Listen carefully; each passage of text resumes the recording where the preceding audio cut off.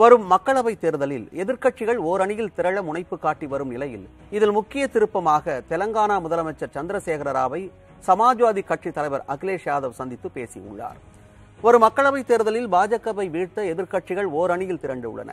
இது தொடர்பாக பாட்னாவில் அண்மையில் நடத்தப்பட்ட எதிர்க்கட்சிகள் கூட்டத்தில் பெரும்பாலான கட்சிகள் பங்கேற்ற நிலையில் தெலங்கானா முதலமைச்சர் சந்திரசேகர ராவ் தலைமையிலான பாரத ராஷ்டிரிய சமிதி கட்சி பங்கேற்கவில்லை. இதைத் தொடர்ந்து பாஜகவின் பி டீம் சந்திரசேகர ராவ் என்றும் அவரை இயக்கும் ரிமோட் கண்ட்ரோல் பிரதமர் மோடி கையில் உள்ளது என்றும் ராகுல் காந்தி கடுமையாக விமர்சனம் செய்திருந்தார். இந்த சூழலில் எதிர்க்கட்சிகள் அணியில் முக்கியமானவராக திகழும் சமாஜ்வாதி கட்சியின் அகிலேஷ் யாதவ் ஹைதராபாத் வந்து முதலமைச்சர் சந்திரசேகர ராவை சந்தித்து பேசியிருக்கிறார்.